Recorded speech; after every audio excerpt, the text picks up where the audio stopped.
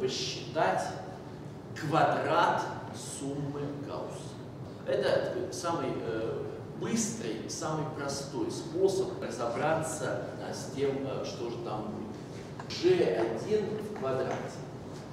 Ну что это такое есть? Это сумма э, А по P э, в степени А. Сумма берется по всем числам от 0 до P минус 1. Умножить на сумму B по P зита в степени b. Э, сумма берется э, от нуля до p минус 1. Я для того, чтобы сейчас удобно было перемножать, э, в одном месте индекс суммирования обозначен буквой А, в другом месте индекс суммирования обозначен буквой Б, но вы понимаете, для того, чтобы сейчас просто перемножить по принципу, когда сумму умножаешь на сумму, каждый слагаемый на каждый. Замечательно. Что получается? Получается сумма э, взятая по всем числам э, А и Б, то есть в ней всего в P квадрат слагаемых.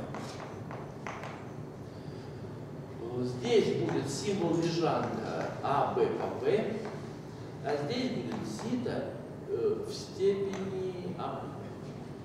Дальше на самом деле ничего такого особенно э, сложного нет. На самом деле у нас это было на этих лекциях много раз. То есть просто такую сумму считать, считать считать, как говорится, да? Вот. Э, мне сейчас, конечно, совершенно не проблема э, повторить это вычисление. Э, например, так сделать. Нас ведь когда суммируется по парам А и Б, можно взять и зафиксировать сумму А и Б, и, соответственно, при постоянной сумме перебрать все э, варианты. Что это в данном случае означает? Э, это означает, что мы э, А плюс Б обозначаем э, новой буквой S и пишем, что S э, пробегает значение от 0 до P минус 1. Обратите внимание, до P минус 1, потому что нас все время интересуют только остатки от деления на P, и поэтому если сумма получается больше, то мы ее э, сбрасываем, начинаем ее P. Значит, итак, сумма вот такая. Э, дальше пишем зита э, в степени s. Сумма, так, что здесь будет? А умножить на s минус а p. Где, опять-таки, а пробегает значение от нуля до p минус 1. Каким образом считать эту сумму? Во-первых, отдельно напишем э, случаи, когда s равняется нулю. Э, это одна такая сумма, s равняется нулю. Э, здесь понятно, что происходит. Здесь будет просто минус а квадрат p. Да? Э, пишем. Да, здесь будет сумма минус э, а квадрат p. Э, суммирование происходит от нуля до Потом э, поймем, чему это равно, это очень просто, потому что мне сейчас интересно не это, а мне сейчас интересно, что делать, когда S э, принимает, S не равно А вот что делать. Э, здесь э, S будет пробегать значение от единицы до P минус единицы. Теперь будет зита в степени s без этого.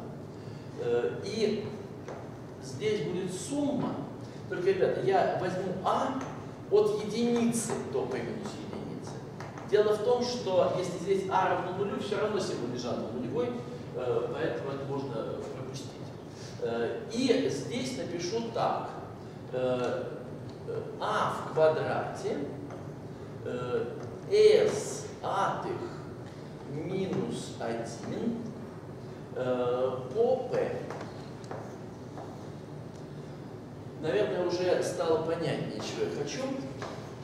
Э, я хочу разобраться э, вот э, с этой суммой. Э, и я хочу сказать, что вообще-то а квадрат по p это всегда единица. Э, поэтому на самом деле э, здесь интересно только вот это. Да? Э, то есть а квадрат я на самом деле смогу просто вычеркнуть. Более того, s разделить на а, когда s не нулевое, пробегает ровно то же самое множество, что и само а. Э, поэтому я могу все это переписать э, следующим образом. Та же самая сумма, так, кстати, а спокойно можно считать, что пробегает значение от единицы до p минус единицы, потому что нулевое слагаемое. И в таком случае а квадрат выкидывается, то есть здесь будет просто минус 1 по p. Да? Отлично. Плюс сумма, то есть на самом деле p минус 1 раз э, такой вот э, символ. Сумма s пробегает значение от единицы до плюс единицы, зита в степени s, сумма, единица меньше или равно b, меньше или равно чем p минус 1. Я напоминаю, b э, это s разделить на a. А здесь стоит символ b э, минус 1 э, по p. Ну, отлично. Э, теперь уже вполне видно, что получается. Заметьте, вот эта внутренность совершенно не зависит от величины s, так что можем сказать следующее. Вот если здесь поставить суммирование от нуля до p минус 1, то будет просто сумма всех, без исключения символов Лежанта. А она равна нулю, потому что квадратичных вычетов ровно столько же, сколько квадратичных невычетов. Значит, на самом деле, вот эта вот сумма, без учета просто вот эта сумма, это со знаком минус взятый символ минус 1 по p. Э, потому что, повторяю, если вместо p взять 0, то будет минус 1 по p. Его добавишь к сумме, получится 0. Значит, на самом деле здесь вот это. Отлично, отлично. Я могу теперь переписать э, все это. Получается, p минус 1 умножить на символ минус 1 по p. Так, это понятно.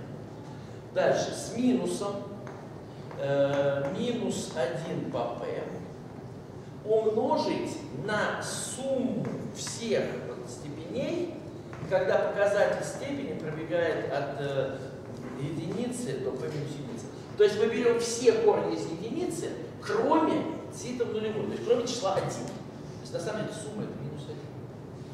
Ребята, ну это сумма, если э, равна минус единице, то на самом деле можно зачеркнуть и написать здесь плюс. И мы получили ответ. P умножить на символ из минус единицы p.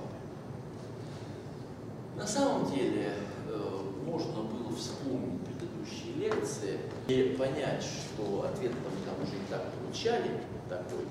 Э, поэтому, так сказать, я сейчас это делал не для того, чтобы получить какой-то новый результат, я мог бы сослаться, да? Но просто если вы плохо помните, то от того, что я сошлюсь, Э, легче вам не станет. Вот сейчас на доске такое стандартное в этой науке вычисление. Если вы знаете квадрат числа, то, собственно, число – это корень из этой величины. Да? Вот если p сравнимо с единицей по модулю 4, то тогда вот по этой формуле у вас g1 э, в квадрате будет просто p. Э, значит, когда p минус 1 делится на 4. Э, и это будет у вас минус p, э, когда э, p минус 3 делится на 4, когда p дает остаток 3 деления на 4. Ребята, это в точности соответствует тому, что в одном случае, э, когда я это рисовал для p равно 5, у вас получился ответ корень из 5, ну более-менее вы не могли точно нарисовать. Вернее, да, для 5 если бы мы вспомнили элементарную геометрию, то мы могли бы все это точно делать. Я просто поленился тратить время, но вообще-то косинус 72 градусов, все такое можно посчитать, получился бы, получилось бы то, что надо. Вот, э, но вот э, так для любых э, нечетных простых чисел, значит, в одном случае получается корень из p, и Гаусс доказал, что действительно ответ это